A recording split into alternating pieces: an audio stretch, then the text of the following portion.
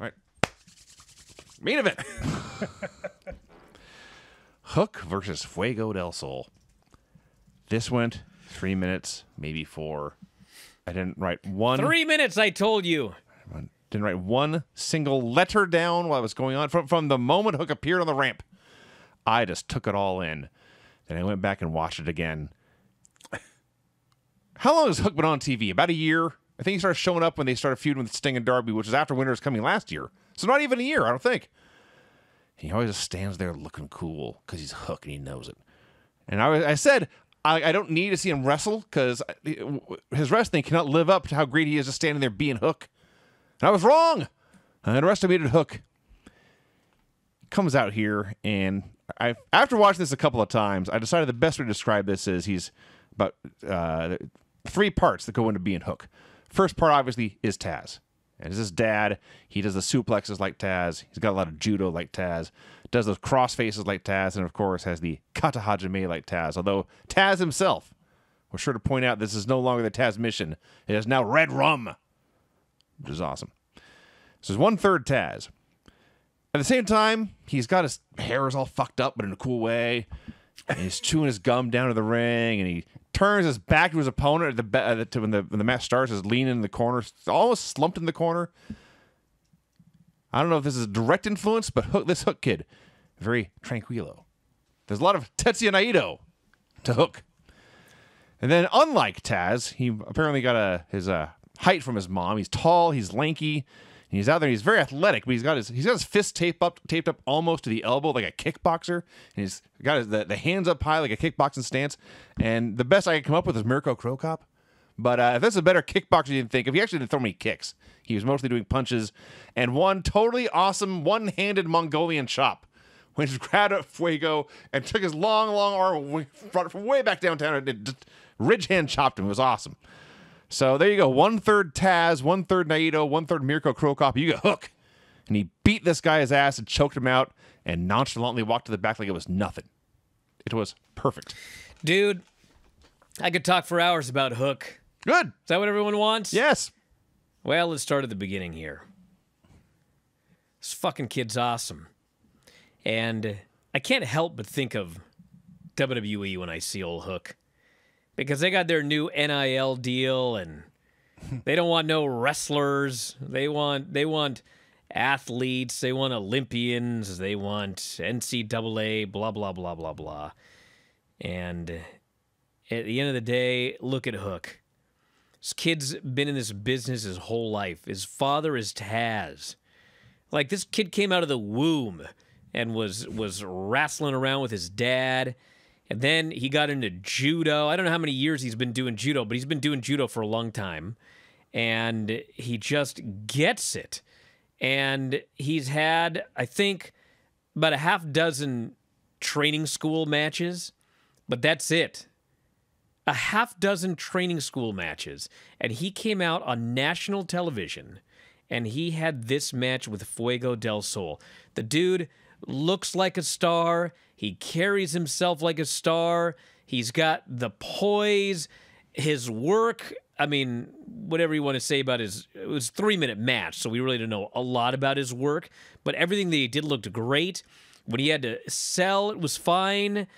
I mean, the when he when they hit his music and he came out, this whole arena just went crazy for this guy. He's got a screen presence. The people react to this guy, and he works his ass off. I mean, he's been, I mean, all of the different things. I, I don't know all of the athletic endeavors he has been involved in, but it's been many. And he's worked his ass off in all of them. And now he comes out here, and lo and behold, you get a second generation wrestler, and you throw him in the ring, and you got the debut of a hook. This guy was a megastar out there. So I don't know what to say about this that hasn't already been said. But I mean, if you if you think about, you know, where would this guy be if he were in NXT? Uh, doing conditioning drills day after day after day. I mean, what Yeah. would he be? He would be. He would not be on uh, TV.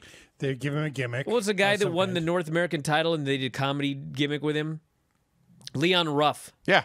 He probably would be Leon Ruff. Yeah, it'd be Leon Ruff. They'd look at him. He's too skinny. You What's the matter with his hair? he needs to he needs to train longer before he ends He up needs on the same haircut everyone else has. Yeah, they'd cut his hair. Yes. Yep. Can't have that hair. And like a lot of the stuff, by the way, I was also told if you if you everything about Hook, his his gear, and I think Tony Khan uh, said that he had music for Hook, but I think I think Hook actually came up with the idea for this music. But his gear, his look, his his hair, all of that, it's all Hook. He's he's a driven kid. He's a very very creative kid, and uh, and a hard fucking worker. So I just watched this thing and I thought, if this guy keeps his head on his shoulders, like something would have to go fucking horribly wrong for this guy not to be like the fifth pillar Yeah. in this company. I mean, he was just fucking amazing. You can watch the chat. They they mentioned on commentary who was actually doing his music. Action a- Bronson. Thank you, Action Bronson. Uh, the the music, the hair, the the I don't give an f what eh, walking down to the ring. It was just the package was great. And when he locked up, I was like, okay, this kid's got something. and uh, and then and then they went into a couple of arm wringers and some things like that. And um, he's very good. He's very good already. Everything flowed very smoothly, and he was poised and confident. And I love how the rest of the locker room is already um, heaping praise on him and and rooting for him. Dude, Evan here says, and you know, listen, if you're a hardcore WWE fan, just shut the fucking show off now because you're just gonna get mad. Evan says Dominik Mysterio caught a lot of stray bullets on Twitter after this Hook debut, and it's valid. Hook showed more in three minutes than Dominik has in a year and a half. Listen, everybody, let's let's be honest here. If Hook had debuted on Raw, does anybody think that he would have had the match that he had here? Of course not. Definitely. He wouldn't have done half of the stuff that he did in this match. Furthermore, furthermore, clearly Rey Mysterio had the opportunity to leave, and he chose to stay with WWE. Okay, and the reason for that is because in Rey Mysterio's mind, regardless of what you think they could have done with Rey Mysterio, he's been a multi-time champion. You know, he's made millions from WWE, and in his mind, I want my son to be a great wrestler. WWE is the place to do that, okay?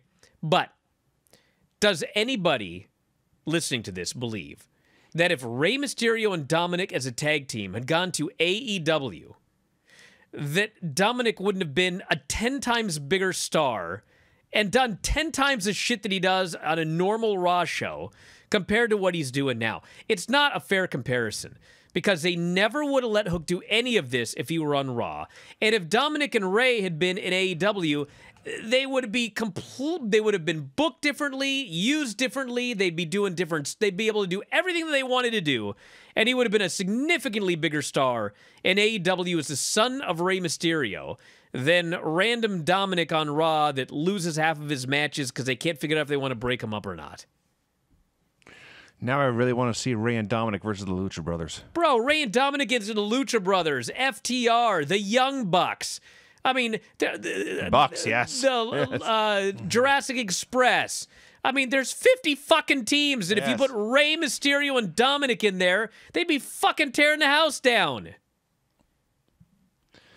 You're right about everything. Uh, before we move on, I just I, back to Hook. I mean, they talk about guys paying dues and learning how to hone their craft, and Hook likes he has been honing his craft for about six years now. And Jesus Christ, is Wrestling Observer Live today. I'm Oreo the Orca. Do you have a blowhole rating system? Like if you're really excited about a match, it gives you six squirts. This match was was uh, two and three quarter holes. If you must know. So I was watching this show and they had a bunch of videos for this Liv Morgan about how oh my whole life I've been a wrestling fan. Oh I'm gonna win my first title ever. There's children cheering and going oh. you know what I'm saying? Okay. I do indeed. Hey Danhausen, can you hear us? Yes, can you hear Danhausen? Hey, look at that! Holy Hey. Mother of God! Look what we've done here. You broke a leg. Is that true? Uh, it was broken in half, snapped in two. The doctor said it was a tibia and a fibia. Uh, I'm a whale and not a doctor, but is it not a fibula and not a fibia? A fibula? What I know. Perhaps the Dr. lied to Danhausen. You know, Danhausen, if you were a whale, you wouldn't have broken your leg. This is true because whales don't have legs. What did you grow up watching as a little evil man? Kane ripping off the door when he debuted. Yes. How old were you, Danhausen, when that match took place? Oh, about, uh, what was that, 1997, so about 700 years old. Oh, Also, one time Danhausen had Dolph Ziggler's theme song as his alarm and it went off in class. no, he didn't. Yes, it's true. Danhausen likes Dolph Ziggler. You like Dolph Ziggler? He's good matches. If you enjoy these videos, for just $7.99 per month, you can enjoy full length editions of The Bryan and Vinny Show, Wrestling Observer Live, Figure 4 Daily with Tom Lawler and Lance Storm, the Mad Men Podcast, Speak Now Pro Wrestling with Denise Salcedo, and more, plus hundreds of archived shows, all in beautiful HD. Don't miss out. Join us today.